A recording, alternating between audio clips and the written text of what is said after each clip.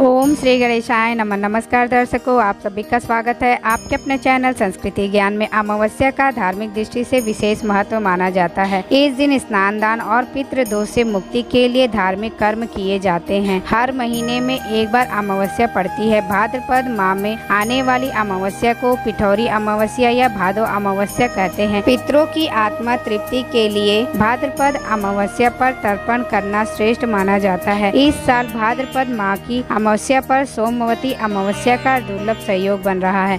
आइए जानते हैं साल 2024 में सोमवती अमावस्या की सही तिथि, सोमवार पूजा विधि और इस दिन किए जाने वाले कुछ खास उपायों के बारे में। सोमवती अमावस्या का सहयोग बेहद दुर्लभ माना गया है, इसलिए इस दिन विशेष पूजा की जाती है। सोमवती अमावस्या के दिन ब्रह्म मुहूर्त में उठकर स्नान कर लेना चाहिए। संभव हो तो गंगा स्नान, नहीं तो घर पर ही नहाने के पानी में गंगा जल मिलाकर स्नान कर सकते हैं। इसके बाद भगवान सूर्य को अर्घ दे। आज के दिन शिव पार्वती भगवान विष्णु और पीपल के वृक्ष की पूजा करनी चाहिए। पीपल के वृक्ष में मीठा जल अर्पित कर 108 बार कच्चा सूत लपेटकर परिक्रमा करें। पूजा के बाद दान आदि करना चाहिए। सोमवती अमावस्या को व्रत रखकर भगवान शिव और माता पार्वती की पूजा करने से सुहागिन महिलाओं को अखंड सौभाग्य का वरदान प्राप्त होता है। सोमवती अमावस्या के दिन मछलियों को आटे की गोली बनाकर खिलाएँ, चीटियों को आटा डालें, पीपल, बरगद, केला और तुलसी जैसे पेड़ लगाने चाहिए। धार्मिक मान्यता है कि सोमवती अमावस्या के दिन शिवलिंग का पंचामृत अभिषेक करना चाहिए। इस दिन पूजा के समय माता पार्वती को श्रृंगार की वस्तुएँ अर्पित करनी चाहिए। सोमवती अमावस्या के दिन शिव भगवान के समक्ष चौमुखी घी का दीपक जलाकर शिव चालीसा का पाठ करना चाहिए। साल 2024 में भाद्रपद सोमवती अमावस्या 2 सितंबर सोमवार को है। अमावस्या तिथि प्रारंभ होगी 2 सितंबर सुबह पाँच बज के इक्कीस मिनट पर। अमावस्या तिथि समाप्त होगी 3 सितंबर की सुबह सात बज के चौबीस मिनट पर।